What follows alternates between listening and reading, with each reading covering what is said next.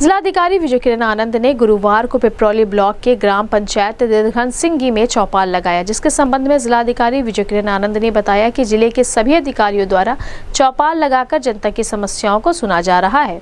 उसी क्रम में मेरे द्वारा पिपरौली ब्लॉक में चौपाल लगाया गया था, जिसमें शासन के द्वारा चल रही योजनाओं की समीक्षा की गई है। इसके अलावा चौपाल में अधिकतर मामले शासन के द्वारा चल रहे विकास कार्यों से संबंधित आए हैं, जिसको देखते हुए कार्यों को पूरा करने के लिए तीन महीने का समय दिया गया है, जिसमें पाँच करोड़ से ज़्यादा के कार्य हैं। सभी अधिकारियों को कार्यों को पूरा करने के लिए निर्देशित किया गया है, जिससे गाँव को एक आदर्श गाँव के रूप में विकसित किया जा सके। इस संबंध में गोरखपुर न्यूज़ से बात करते हुए जिलाधिकारी विजय किरण आनंद ने कहा।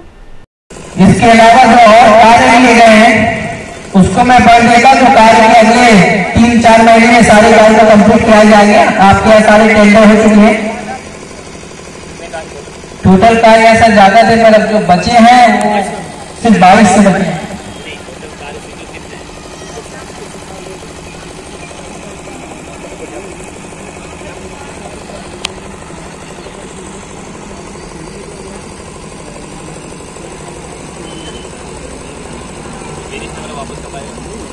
वेरिएशन दो तरह का है, सर, जो 10 परसेंट से अधिक लोअर साइड में है। आज जंगल दीर्घन गाँव में, गाँव पिपरोली में ब्लॉक पिपरोली में चौपाल लगाई गई थी, जैसे हमारा लगातार सभी वरिष्ठ प्रशासनिक अधिकारियों द्वारा चौपाल लगा के लोगों को प्रशासन उनके द्वार तक पहुँचा के योजनाओं की समीक्षा करके अत्यावश्यक लोगों के सामने प्रस्तुत करके आपत्तियाँ, दावे लिए जाएँगी। जन कल्याणकारी योजनाओं में शत प्रतिशत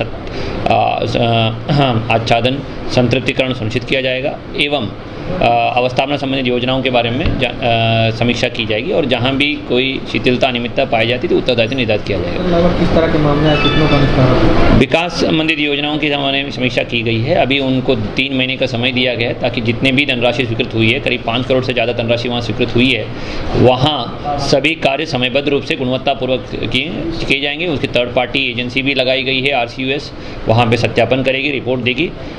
एक आदर्श गाँव के रूप में उसको विकसित करने का प्रयास किया जा